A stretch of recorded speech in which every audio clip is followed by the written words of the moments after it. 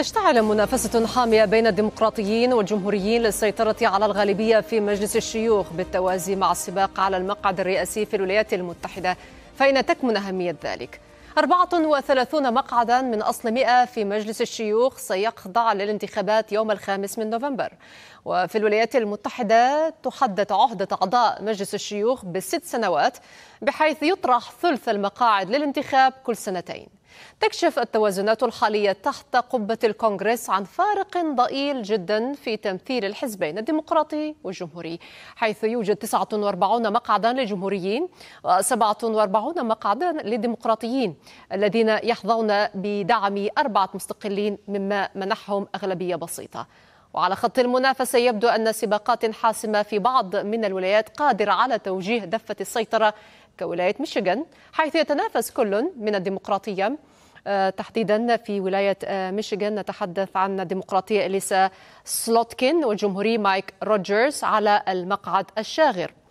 أما في ولاية بنسلفانيا المتأرجحة فتشتد المنافسة بين الديمقراطي بوب كيسي والمنافس الجمهوري ديف ماكورميك وهنا أيضا تظهر استطلاعات عدة فارقا لا يتعدى بضع نقاط في شعبية كليهما. تكساس تحديدا دعونا نتحدث عن تكساس. يبذل الديمقراطيون جهودا كبيرة للإطاحة بالسيناتور الجمهوري تيد كروز المتراجع. وهنا يتفوق النائب الديمقراطي كولين أولريد على كروز في جميع التبرعات وفق شبكة سي إن إن. فيما تتصاعد في أوهايو حظوظ رجل الأعمال وحليف ترامب الجمهوري بيرني مورينو أمام السيناتور شيرود براون الذي وصف كأحد أكثر الديمقراطيين ضعفا في اقتراع هذا العام وفق استطلاع لنيويورك تايمز. اذا هذه بعض من أعراض حمى السباق الحاسم بين الجمهوريين والديمقراطيين على مقاعد مجلس الشيوخ التي ستحدد موازين القوى في مجلس الشيوخ للعامين المقبلين. في الانتخابات الرئاسية الأمريكية تشير الأرقام إلى أن نحو 240 مليون شخص يمتلكون حق التصويت وقد وفر لهم أكثر من 94 ألف مركز للتصويت عبر الولايات الأمريكية الخمسين بالإضافة إلى مقاطعة كولومبيا. وبحسب القانون الأمريكي يتاح للناخب الأمريكي إيداع صوته عبر أنماط انتخابية عدة. بالاقتراع المبكر والاقتراع عبر البريد والتصويت الغيابي والتصويت الشخصي في مركز الاقتراع. وعلى سبيل الذكر سجلت انتخابات عام 2020 مشاركة تعدت بقليل عتبة 66% وتوزعت المشاركة بحسب مركز بيو للدراسات في واشنطن بين 46% عبر التصويت المبكر و54% عبر التصويت الشخصي في مكاتب الاقتراع.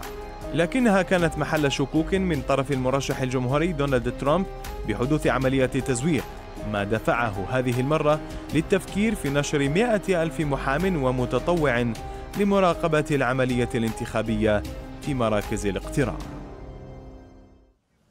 وارحب هنا بضيفي ينضم إلينا مدير مركز القاهرة للدراسات الاستراتيجية سيد أحمد المسلماني.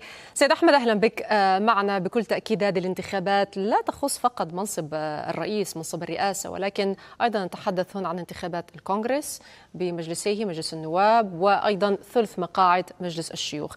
كيف يمكن أن تتغير تركيبة الكونغرس في هذه الانتخابات؟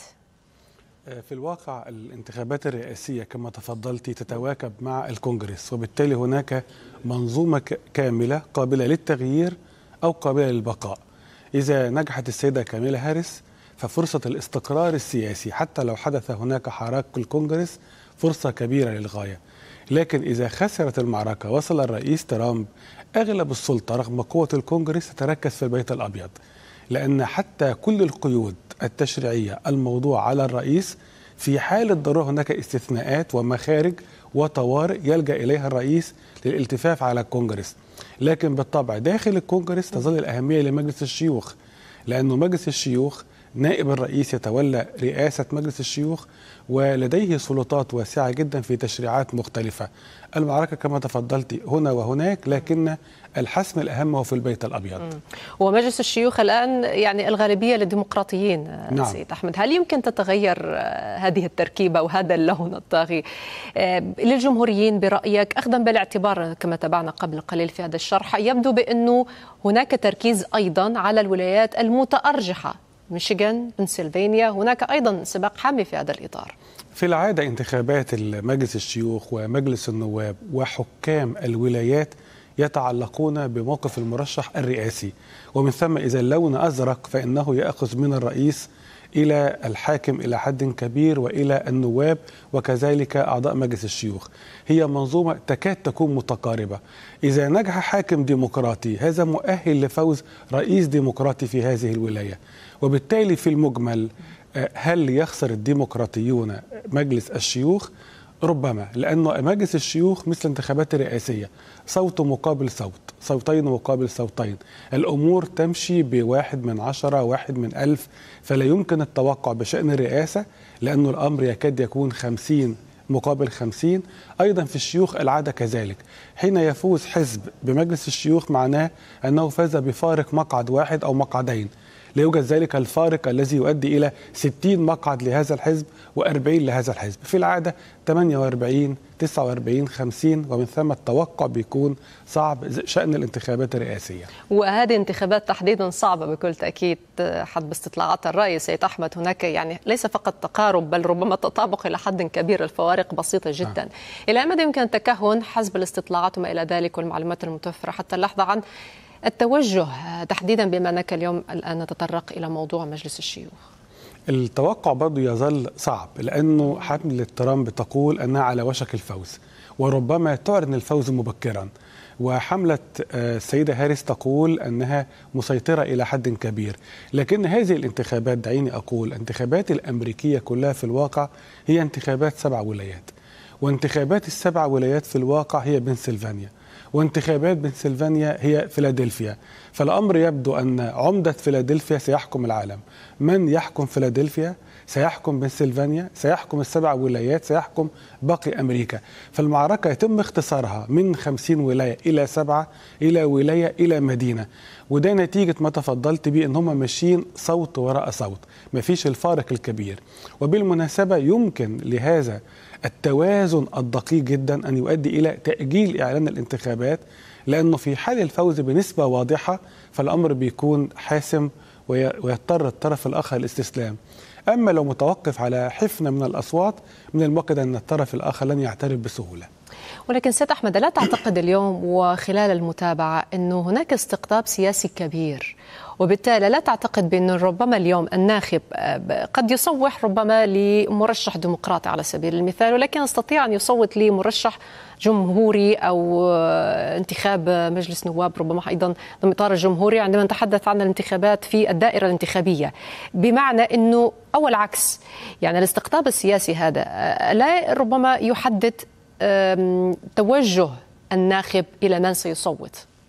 في الواقع الانقسام السياسي في الأعلى يهبط إلى الأسفل. م. فالانقسام السياسي بين منظومة أوباما بايدن هاريس هذه المنظومة الديمقراطية في شكلها الجديد الذي أسسه الرئيس أوباما وبين المنظومة الأخرى التي أعلى تجلياتها الرئيس ترامب لأنه في تقديري الرئيس ترامب هو الجيل الثالث من الريجانيين الرئيس ريغان أسس الاتجاه يمين يمكن وصفه يمين متطرف أو نيوليبرالية. جاء بعده الرئيس بوش الابن ممثلا لهذا التيار ثم الرئيس ترامب. هذا الاستقطاب بين الترامبية الريجانية وبين الأوبامية الديمقراطية الآن تنعكس إلى أسفل. لكن البعض مثلا مثل العرب والمسلمين في ميتشيغان يريدون أن يقاطعوا الانتخابات الرئاسية لكن يصوتوا في انتخابات الكونغرس لأنهم غاضبين على الرئيس الرئيس بايدن وعلى هاريس وعلى ترامب وبالتالي يجدون أن الفرصة أفضل في الكونغرس للتعبير عن صوتهم. فالأمر معقد لكن الانقسام يبدأ من أعلى وهو انقسام عنيف وشديد جدا وربما إذا لم يتم ضبط هذا الانقسام يؤدي إلى مخاطر. البعض يتحدث الآن عن احتمالات حرب أهلية في المدى البعيد جدا إذا استمر هذا الانقسام على هذا النحو العميق والحاد. وبالتأكيد سيكون متابعة لهذه الانتخابات الرئاسية، شكرا لك سيد أحمد المسلماني مدير مركز القاهرة للدراسات الاستراتيجية، شكرا شكرا جزيلا لك.